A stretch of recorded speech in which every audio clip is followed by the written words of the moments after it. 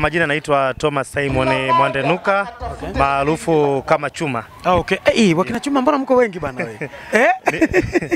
Hongera kwanza. Nashukuru. Ah, nashukuru unajisikiaje siku ya leo ku- kuapishwa kuwa mwenyekiti na pia bado ni kijana mdogo tunaona katika kwanza Kwanza na- nashukuru sana, nimejisikia furaha Aha. kwa sababu kwanza sikuamini, Okay. lakini ndani nimekuwa na kasumba ya kuonekana na karama za uongozi Aha. hasa kwenye nafasi ya utawala tangia nikiwa shuleni. Ah, okay. yeah, Okay.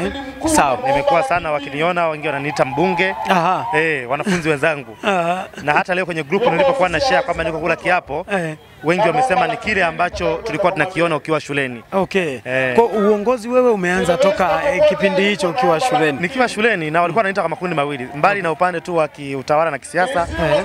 Wengi walikuwa wanapenda kuniita wanasema ah, baba paroko, kwa sababu pia nimekuwa nikifanya shughuli zote mbili. E, tangu nikiwa shuleni, lakini pia nilikuwa na nashiriki masuala ya kikanisa sana katika umri mdogo. Kwa hiyo nimeendelea kuwa na mfumo huo. Kuna wengine hata sasa hivi wakawa wanasema paroko. Eh. wengine wakawa wanasema mbunge, wengine walisema mwenyekiti, na nimeambiwa wewe ni mwenyekiti ujao wa huu mtaa ambao unaongozwa custom. Karibuni kipindi cha miaka miwili. Sasa mimi nikawa siamini, wananiambia wewe ni mwenyekiti, wewe ni mwenyekiti.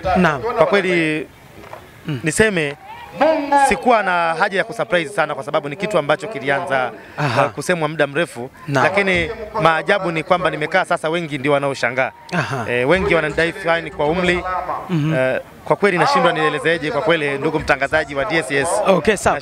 Sasa safari yako iliku- ili- ili- ilikuwaje wakati unafikiria kwamba sasa mimi nataka niwe mwenyekiti? Aa, najua ulikuwa umejiandaa pia kisaikolojia kwamba mimi naenda kuongoza watu, naenda kuongoza watu wenye umri mkubwa lakini wenye umri mdogo. Umejipangaje kuhakikisha kwamba uongozi wako utakuwa tofauti na ule uliopita?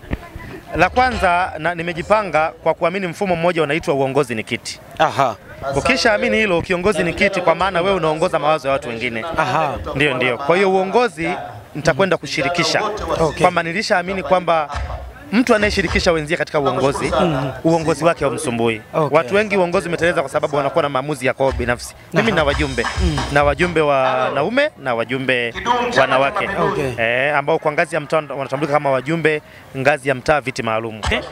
na wajumbe lakini pia na watu ambao wanawazunguka. Unaona huo ndo utakuwa uongozi bora katika wakati wote huu ambao wewe utakuwa ni mwenyekiti? Ni kweli kwa sababu katika mtaa, baada ya mimi kwenda kuchukua fomu ya Chama cha Mapinduzi, wengi walisema huyu kijana kiumri ni, ana, ana, kiumri ni mdogo, wenyekiti utamshinda. Naam.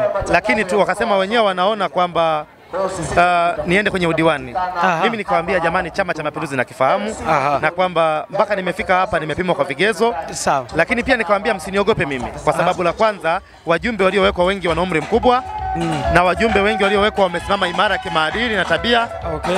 Kwa hiyo hilo ndio ukawa msingi wangu wa mimi kuendelea kuwa imara, na kwamba hiyo ndio sababu ninayojivunia kwamba mtaa wangu uta control, Okay. kwa sababu ukiangalia wajumbe wengine walio kwenye mtaa wangu, wengine ni kama mama zangu kabisa, Ah, okay. Hey. Lakini wewe ndio umekuwa mwenyekiti. lakini mimi ndio nimekuwa mwenyekiti. Aha. Kwa hiyo ndio maana nimewaambia uongozi ni fimbo, Yeah. na ukifuatilia kikanuni uh, mwenyekiti sio, sio, sio, sio, sio mzungumzaji sana. Basi ni kwamba mheshimiwa mkuu wa wilaya ambaye kichama tunasema ni kamisaa okay. na kada namba moja wa CCM katika wilaya mm -hmm. ametuhimiza kwamba viongozi sisi wote tuwe na hofu ya Mungu. Naam. Ni kitu kigeni kusikia kiongozi wa serikali anazungumza hivi mm. na inawezekana ndio siri pengine ya mafanikio yake katika mji wa Tunduma huu. Aha. Kwa hiyo anatuhimiza tumtangulize Mungu na maamuzi yetu yapime kwa kumshirikisha Mwenyezi Mungu. Okay. Kwa hiyo hata mimi nasema nitafanya vitu vyote kwa pamoja, nitatumikia serikali lakini nitamtumikia Mungu, kwa sababu bila Mungu haya yote niliyosema sintaweza. Okay. Mimi nikushukuru sana na, na na niseme Mwenyezi Mungu akubariki, lakini awabariki na waandishi wa habari, kwa sababu bila nyinyi